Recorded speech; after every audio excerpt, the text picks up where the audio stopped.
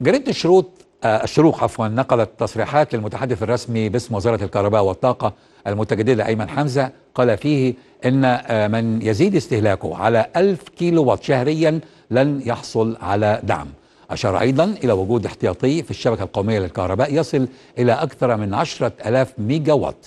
أوضح المتحدث الرسمي لوزارة الكهرباء أنه يتم تشغيل المحطات وفقا لاحتياجات المواطنين واستغلال الاحتياطي في برنامج الصيانة السنوي.